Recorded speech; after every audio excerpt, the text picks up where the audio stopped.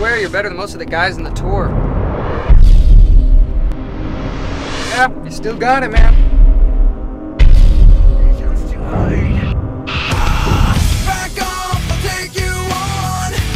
Life should be about finding yourself, chasing your dreams, your passions. Now, the older you get, the more you realize how important it is to do the stuff that you like.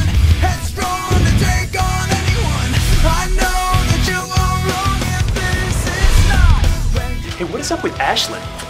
Ah, you are such an idiot. You should think about entering H2O Extreme.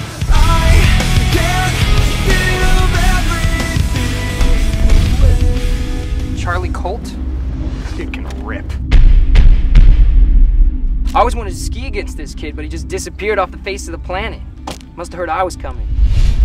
Pretty good out there for the warm-up act. Ray, she's getting chummy with the wolf. Careful with that guy, okay? Don't worry about me. I'm just trying to have some fun. You're just gonna let her go?